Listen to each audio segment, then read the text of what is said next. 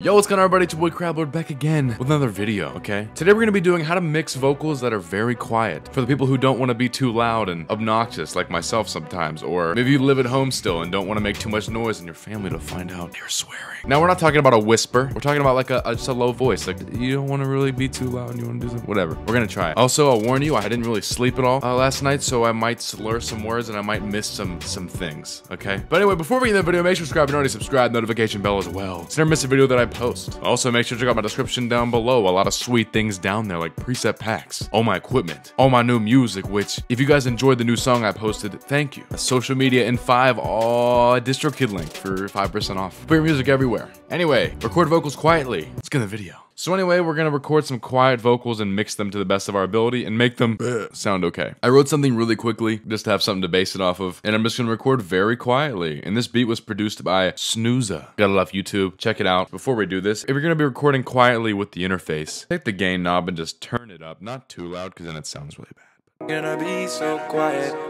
Yeah. Tell me where to go in the go light.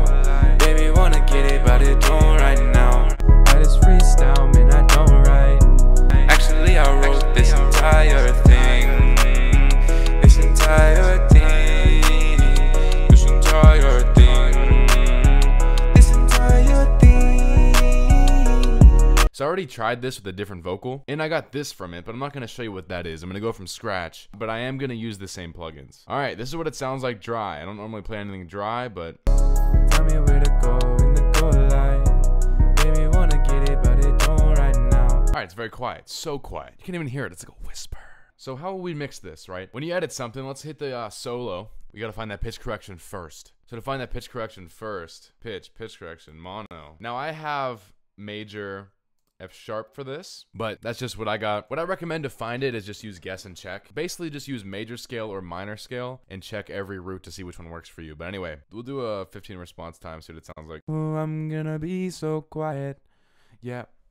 Tell me where to go in the go light. Next, we want to channel EQ to clean it up. You have to pick the frequencies that kind of counteract the quietness, right? So in my voice, um, when I speak low, it is a very bassy thing, right? So what we do is this. Yeah. Let's grab the red. Tell me where to go in the go light.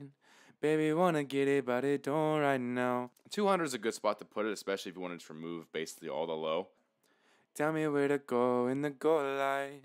Baby, wanna get it, but it don't Let's right do a let's do a shelf at 250, okay? Just to take a little more low out. We'll make it negative three. I'm going quick here, people. Right now, I'm coming back at you from the future, okay? When I do videos off the top of the head, sometimes I make mistakes. Maybe 200 is a little intense. You could also put it to 100 and leave this at 200 so it's not fully taking out all your low vocal. So you can either do it like this or like the original way I just did a second ago. Now back uh, to the present. Um, Tell me where to go.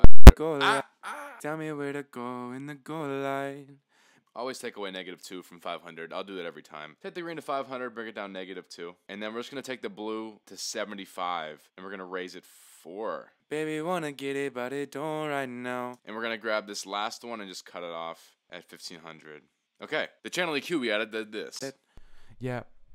Tell me where to go in the go light. Kind of thinned it out a bit, but anyway, next we'll compress it. So to get a compressor, you got to go to a Dynamics, uh, Compressor Mono. And within it, we're going to click the good old the Studio FET. It's more rugged. It's a little louder. Turn auto gain off. I'm going to tell you what I'm going to do before I do it. I'm going to try to get the needle to stick between negative 7 and 0. So turn auto gain off, and I'm going to play it and then edit it while it's playing. Tell me where to go in the 3.1 light. Ratio.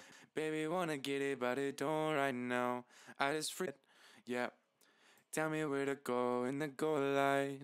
Baby, wanna get it, but it don't right now. We're to make the attack 100 and the release 200.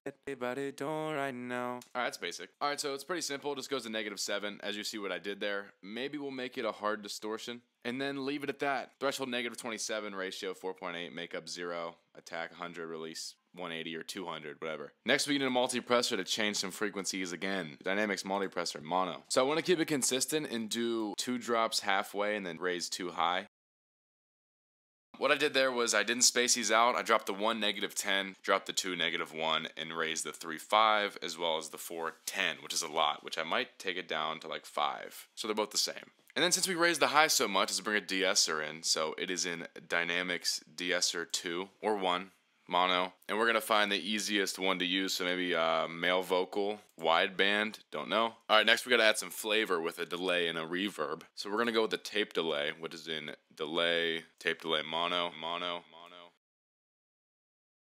To show you what I just did there, with the tape delay, we have a 1 4th dotted. Okay. I usually just listen to the song and I just check each one, and whatever one matches the tempo, I'll pick. Low cut 580, high cut 5600. Dry is always 100 if you want your main voice all the way there, and wet is the effect. So 30% of it's there, so it's very in the background. Feedback is 16, that's how many times it'll repeat itself. We'll keep it at 16 because that's not too bad. It's like one delay. I'll show you what it sounds like if you turn it up. Yeah, yeah. Tell me where to go. Yeah, yeah,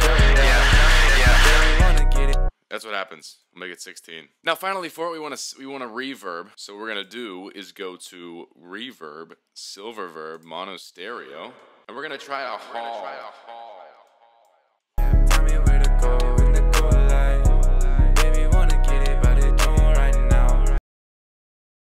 We just clicked the top and went to hall, so that's just like the preset. Size changed to 80, dry 70, wet 20%. Wet is the effect, dry is how much your voice is there. We took away some of the voice, so it's less up front and more in the background. Low cut 410, high cut 6000. I didn't change that. And then close it, but you're not done.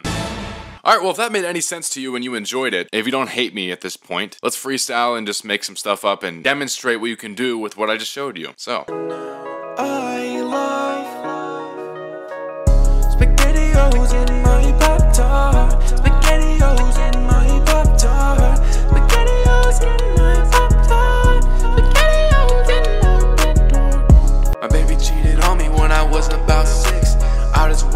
outside and I picked up some sticks cause I had to build a fire. I'm getting higher.